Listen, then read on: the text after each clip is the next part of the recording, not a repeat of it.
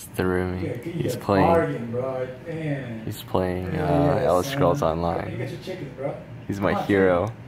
Ah, come on. You can open up a chicken farm. what is going on in Tamriel when people don't want to trade for chickens? What is this? You a scammer? Are you a scammer? I'm reporting you. Oh, hold up. I'm reporting you. He gets Ah, into think this is a joke.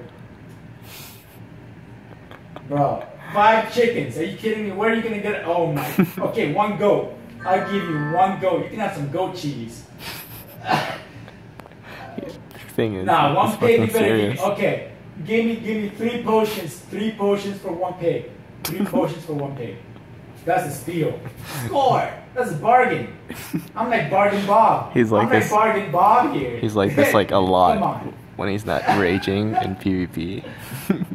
What is going on here? What is this group? Where are you guys going? oh gosh. Man, my my bars aren't. I mean, I can set them up, but fucking, I'm not. I'm letting them. I'm not even in the mentality to do a fucking dungeon. I just want to come over here and research stuff and, and, and troll people. I come to Mournhold.